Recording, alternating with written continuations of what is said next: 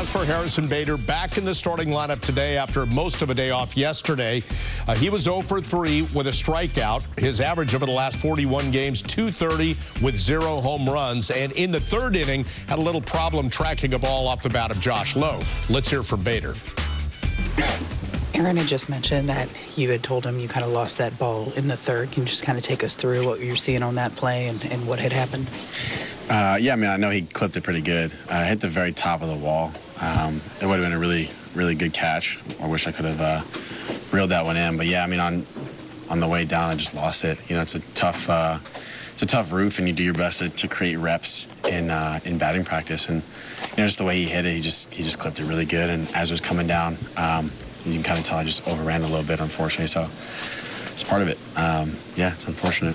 Offensively, you guys weren't really able to mount much against Glasnow. Boone said that maybe he wasn't his dominant self, but obviously still good stuff. What were you seeing in the batter's box? What made him tough?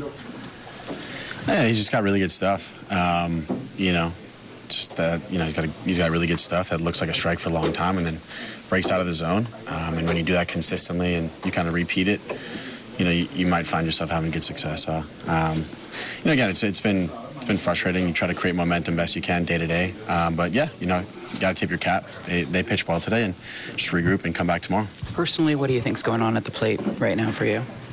Uh, yeah, it's been uh, it's been rough, no doubt about it. Um, you know, I think every day you just have to uh, continue to trust your process, um, and when the game starts, you just remain, confident and go up there and uh, put together winning winning at bats with a winning mentality. And just what I'm trying to do. I'm trying to keep everything really simple. So obviously, from a result standpoint, it's not what I want, not what I, I want to be for this team to help us put runs on the board, but. Um, you know, again, the, the work never stops, and you, you approach each at bat and try to win each pitch. Um, not only on you know on all sides of the ball, but but mainly offensively, and just go from there. But you know, always having confidence that you're always one swing away um, from not necessarily even just catching fire, just just doing something good for your team, which is my only focus every every time I step in the box. When you're when you're slumping, are you a guy that goes back and looks at, at bats that when you're going well? Do you try to tinker with your uh, um, the way you hit, or what, what, do you do to try to get out of it? Uh, you just keep things simple. You know, at the end of the day, you got a bat in your hands, you got a ball, you know, you, you, you got a guy, you know, throwing. Uh, throwing darts at you. Um, and, you know, you just use your preparation and, and, what you can before the game. But, you know, once the game starts, just keep it simple. Um,